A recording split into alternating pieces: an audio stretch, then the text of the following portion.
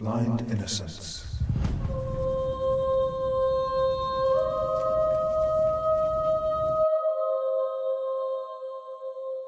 A tale experienced by many, but aware of by none.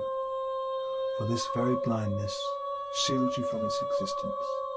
It shields you from its threat to your way of life.